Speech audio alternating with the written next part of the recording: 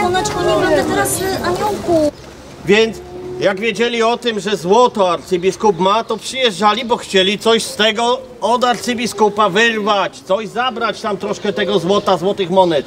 To wiecie co robiłem? Przygotowywałem pasztet ze szczurów. Dawałem kwaśne piwo z muchami i robakami. No i jak on przyszedł, żeby wziąć i, że tak powiem, tych złotych klejnotów troszkę ode mnie wyciągnął, to co robiłem? A częstowałem go tym pasztetem takiego cwaniaka. Częstowałem takim piwem kwaśnym z robalami. No i on co? No jadł i pił, bo chciał tych pieniążków i moich skarbów trochę. A potem jak się okazało, niestety, ja podziękowałem, wsparcia nie dałem, i on odszedł gdzieś, a okazało się wówczas, że przeklinał, jak to ten arcybiskup tutaj nie chciał pomóc. Dzięki nam, arcybiskupom, tutaj w Łowiczu powstało mnóstwo kościołów. Zobaczcie dookoła, gdzie będziecie szli spacerować, to będziecie spotykać kościoły. To wszystko dzięki nam, właścicielom tego miasta, czyli arcybiskupom. Ja was nie zatrzymuję, wy sobie idźcie powolutku dalej. Zapraszam. Chyba, że ktoś chce poczytać jakieś trochę świętej księgi. Zobaczcie, jak stara księga, patrzcie. Zobaczcie, jak oprawiona w płótno, tłoczone. Tu pieśni są, dlatego jest instrument muzyczny. Ja was nie zatrzymuję, bo tych duchów przeszłości dzisiaj spotkacie jeszcze wiele, także Także zapraszam. do zobaczenia.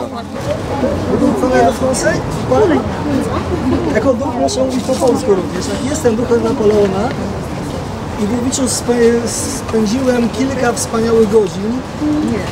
Było to po wielkiej bitwie pod Jeną i pod Auerstadt, w której udało się za namową polskich żołnierzy, którą mnie, mnie służyli, skrzesić od nowa państwo polskie. I wizyta w Łowiczu mnie przy tym umocniła, ponieważ nie tylko odbyłem tu naradę wojskową w drodze do Warszawy, ale przez te 4 godziny właśnie wysiadowałem w restauracji, która mieściła się w tym budynku. Do dzisiaj jest restauracja Polonia. Po moim pobycie y, ta restauracja nazywała się Cesarska Imperia. Pamiętam, zjadłem bardzo wspaniałą zupę. La soupe était délicieuse. Le dessert, c'était magnifique. Deser był wspaniały. Później opowiada- opowiadano mi wiele wspaniałych tu informacji, chociaż dzisiejszy Łowicz jest dużo piękniejszy od tego w 1806 roku.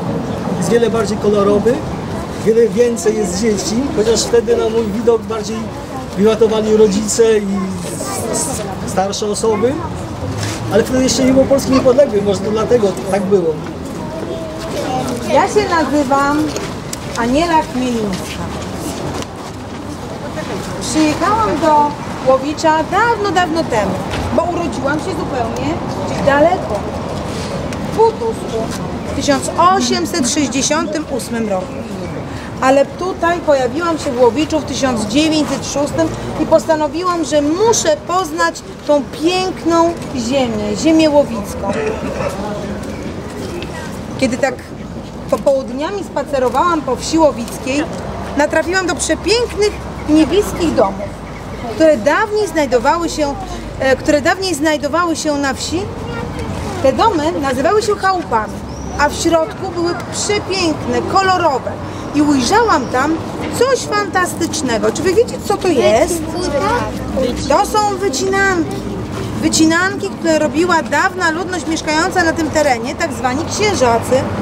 A jaki był element, który najczęściej spotykany był na wycinance?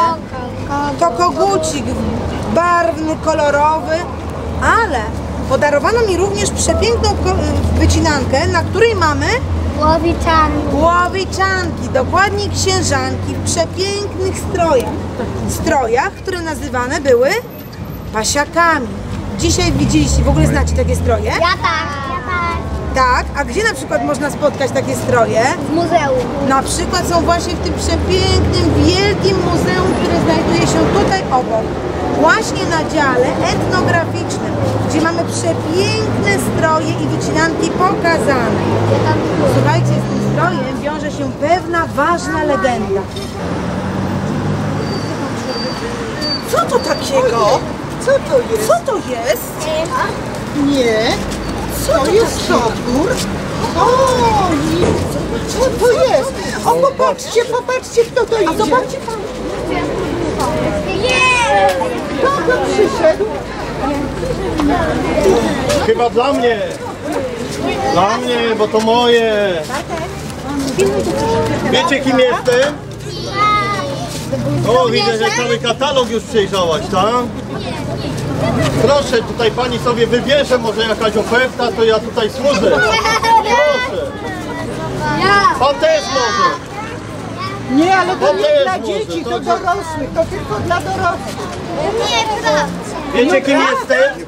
Prawda? Chciałbyś być? Ja jestem katem. Kat to kiedyś zajmował się wymiarem sprawiedliwości, jak ktoś podpadł, ukradł gdzieś coś, to co robiono? Brano wtedy i obcinano rękę, żeby już więcej nie kradł. Jak coś źle mówił, to co robiono? Szczypcami język wyrywano. Tak. A jak ktoś podpadł bardziej, to wtedy jak szlachetnie urodzony był, szlachetnie urodzony rycerz jakiś, to go mieczem ścinaliśmy. A jak zwykły mieszczanin, to toporeczek i toporeczkiem. Czym lepiej? Niczym chyba, co? A sprawdź, proszę. A może przymierzymy?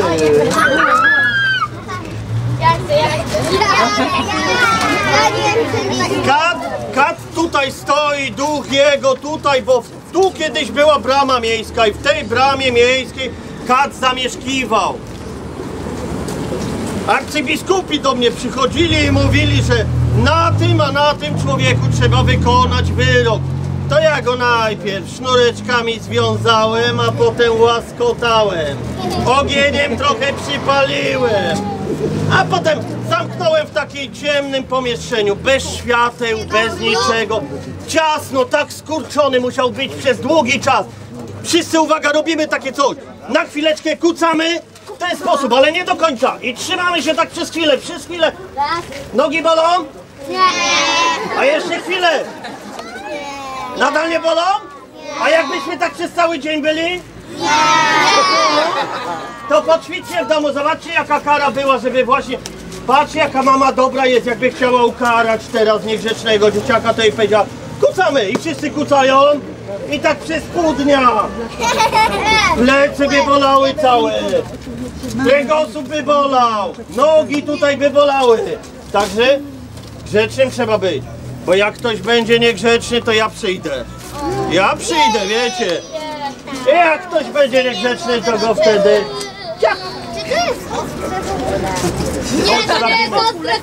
Chodź, położymy tutaj, przyklękniesz przede mną, a ja sprawdzę, chodź! No chodź!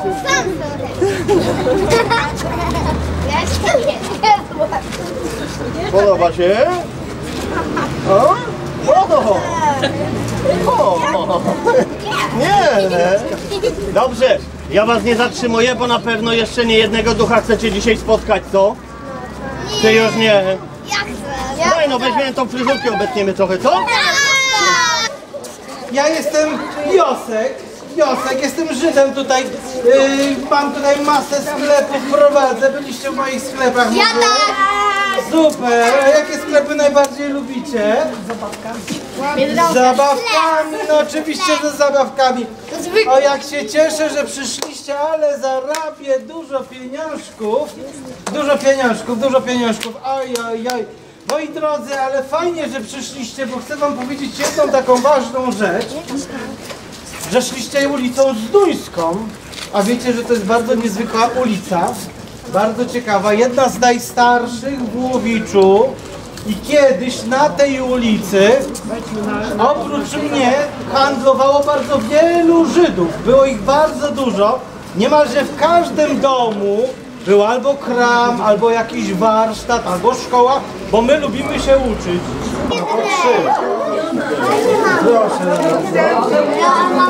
Ojeju, ja zamiast handlować, sprzedawać cukierki, ja je rozdaję. nic nie Oj, oj, oj, proszę bardzo. Już trzymaj łapkę. Jak dzieci miasto, oprócz zakonu żeńskiego, jak zapewne wiedzieć, zdążyliście się dowiedzieć, były zakony również męskie. No to jest nierozłączny rekwizyt różaniec, bowiem zakony nasze nie były dofinansowywane w jakikolwiek sposób.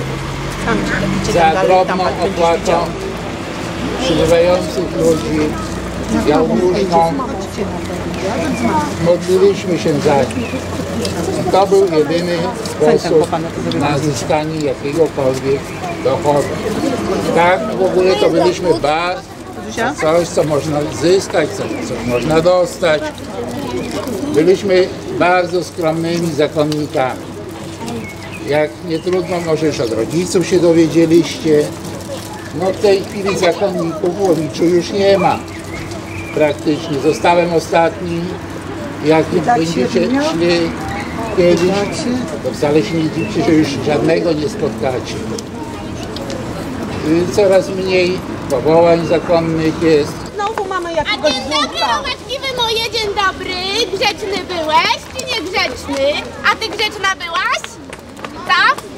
Nie! A co wy tu robicie? Przyszliście mnie odwiedzić? Tak! No to fajnie! To ja wam powiem, co ja tutaj robię. Bo ja sobie tutaj od czasu do czasu przychodzę i tak biadolę nad tym moim losem, złym losem. Bo to było tak.